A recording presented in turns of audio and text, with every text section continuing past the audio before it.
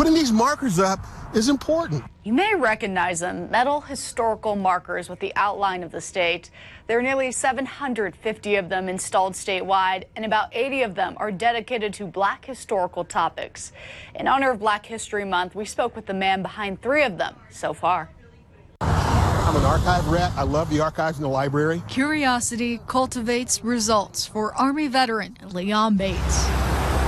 This historical marker at 2140 Boulevard Place started with his work as a Pan African Studies major. He was a um, a research project when I was at uh, IUPUI. That research started with a simple question. I found a newspaper article about an African American police officer who died in Indianapolis in 1922 at Ward Sanitarium. So the first thing was to figure out what was Ward Sanitarium. But of course, the building is long gone. It was torn down in 1965 66 when they built the interstate. Curiosity resulted in answers. Dr. Ward was the first African American to lead a U.S. Army field hospital, first African American to lead a veterans hospital, first African American to lead a major hospital in the United States. In a time of segregation, Indy's Ward Sanitarium was the longest lived black hospital in central Indiana. So, this is how some of your first black nurses in Indiana got trained. His medical legacy lives on through permanent words, reading Lieutenant Colonel Joseph H. Ward,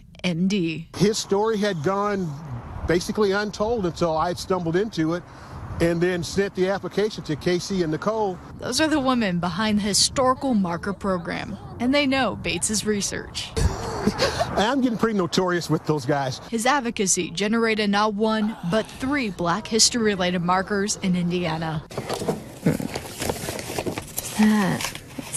That right there is Dr. Ward. This is the extensive file behind Dr. Ward's marker. Allows you to track their life, and that's really interesting. Casey Pfeiffer and Nicole Poletika took Bates's robust applications and verified all the information.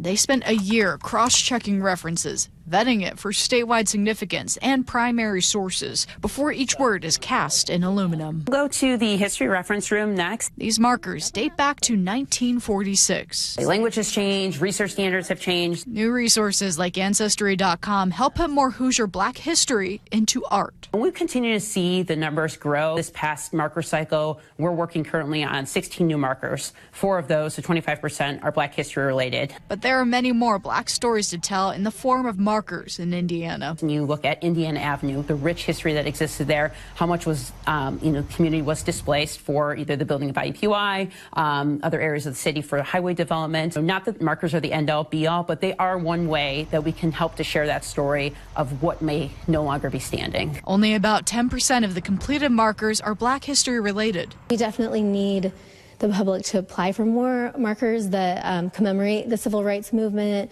Black Power movement, because we've discovered through our research that you know, those events happened here. Markers only come to life when people like Bates apply. I'm honored that they trust me to do this research um, in an inclusive and accurate way. I was very careful when I researched it and wrote it.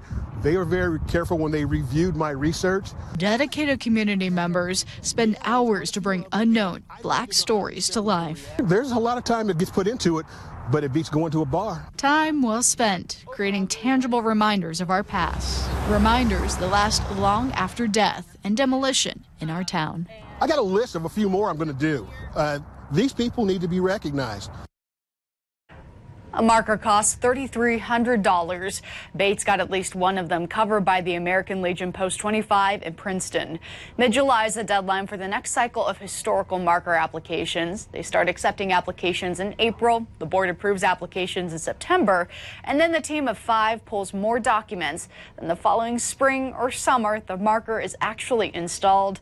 For a list of every single marker they have, go to this story on WRTV.com for a link. You can make an appointment with the Historical Marker Program Director and others about making changes to current markers or new ones. There's a marker review report online if you want to give feedback.